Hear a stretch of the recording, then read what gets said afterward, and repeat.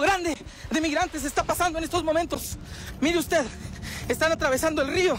El tsunami migratorio sigue aumentando. Con título 42 o sin título 42, con COVID o sin COVID, a dos años de esta implementación las personas siguen migrando. En 2021 los indocumentados capturados por la patrulla fronteriza se multiplicaron por cuatro, con más de dos millones y la tendencia sigue al alza. La mayoría son de México, Guatemala, Honduras y El Salvador. Los migrantes quedaron en medio. Con el título 42, Trump impidió que pidieran asilo. Biden no logra eliminarlo y no ha legalizado a 11 millones de indocumentados.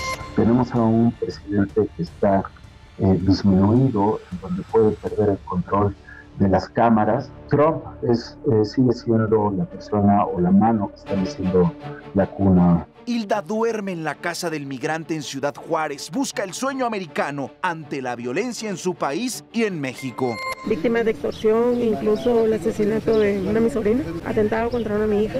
Silvia dejó a su familia en enero, cruzó Guatemala y México, no desiste pese al peligro del río. Llegar hasta este punto y regresarnos por todo lo que hemos pasado, creo que no. En México las detenciones también se multiplicaron en 2021 y la tendencia se mantiene. La mayoría son de Centro y Sudamérica, menos de la mitad son repatriados. México asegura que la migración es necesaria, que Norteamérica necesita la fuerza laboral, pero no hay voluntad para ordenarla. ¿Por qué no organizamos una inversión a mucho mayor escala que nos permita reducir el sufrimiento humano que hoy se está provocando por esta indecisión. Estados Unidos invierte más de 13 mil millones de dólares en el control migratorio y comprometió 4 mil millones para Centroamérica. México presupuesta 50 millones de dólares en política migratoria y ya entregó a Centroamérica 90 millones de dólares. Es insuficiente para realmente transformar esas causas y evitar que la gente migre.